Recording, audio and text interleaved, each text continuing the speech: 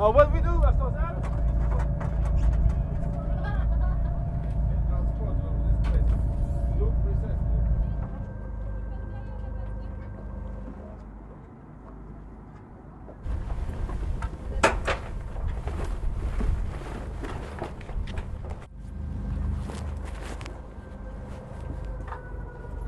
Sam, tu peux m'expliquer l'exercice là de, de la journée?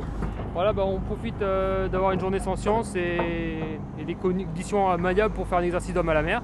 Donc on a acheté un seau et un pare pour euh, simuler la- que quelqu'un était tombé à l'eau. Et donc là l'objectif en fait c'est d'avoir une équipe qui garde le contact visuel avec l'homme à la mer, d'avoir euh, coordonné la mise à l'eau du Zodiac et la récupération de- du pare Et là donc il est en train de remonter à bord par l'échelle de coupé.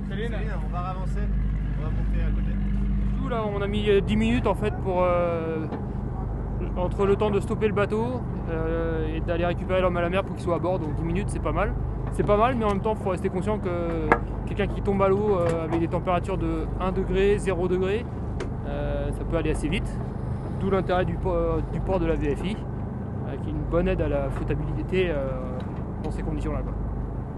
Là, quelqu'un reste conscient combien de temps dans une eau à 1 degré? Je pense qu'au bout de 10 minutes, il est encore bien conscient, mais il commence à avoir des problèmes de mobilité.